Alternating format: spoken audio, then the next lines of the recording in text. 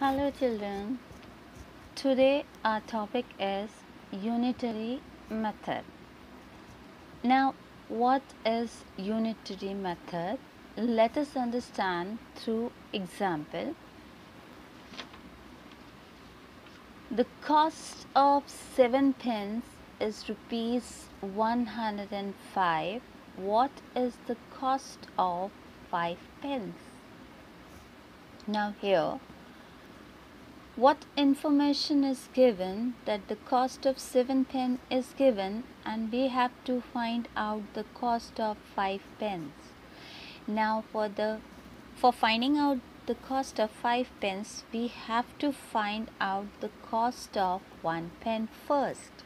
The step 1 is find the cost of 1 pen that is 105 divided by 7 it gives you 15.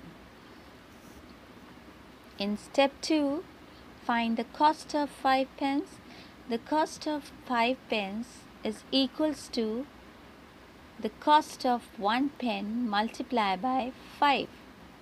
We got rupees 75. Now here what we have done first we found the cost of 1 pen then we found the cost of 5 pence. So this method is known as unitary method. The method of first finding the cost of one object and then the cost of many objects is called the unitary method. Now in unitary method, the cost of many things will be given. We have to find out the cost of many more or less things. For doing this, we first go from many to one, then one to many. Got it? Just keep this in your mind that what we are going to do in unitary method. Many to one and one to many. First we found the cost of one thing, then we, can found the cost of many things. In the simple way, I can say in the step 1 we are dividing and in the step 2 we are multiplying. Means finding the value of one unit then in the step 2 we are finding the value of required number of units. Now let us take one more example then it will be more clear to you.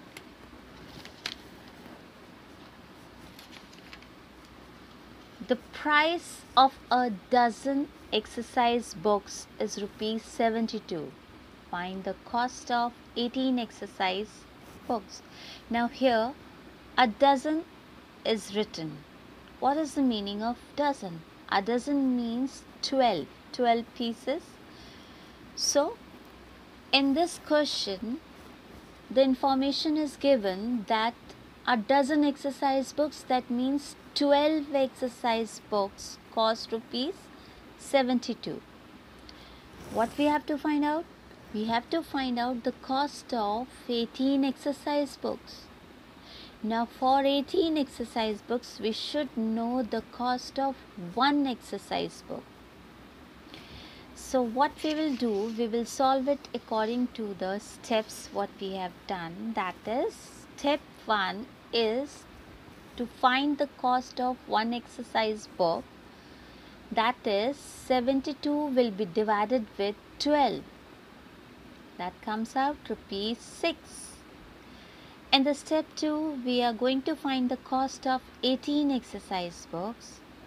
That means the answer we got for the one exercise book will be multiplied with 18.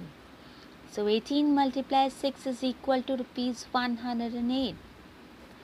So here what we have done, we, we in the first step we have divide first, then the step 2 we have multiplied it.